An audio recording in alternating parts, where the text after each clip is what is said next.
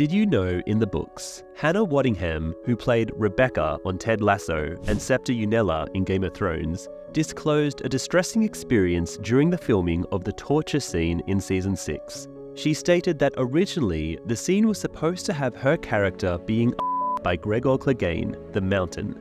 However, due to concerns arising from previous controversial scenes, particularly the Sansa and Ramsay's wedding night, the script was altered, with a change communicated to Waddingham at the last minute. Upon arriving on set, Waddingham discovered the revised scene involved her character being waterboarded for an extensive 10 hours. The actress recounted being bound to a wooden table with straps while Lena Headey poured wine onto her face. The unexpected shift in the script left Waddingham shocked, as she initially believed a wetsuit top was mistakenly sent to her, describing the experience as the worst day of her life.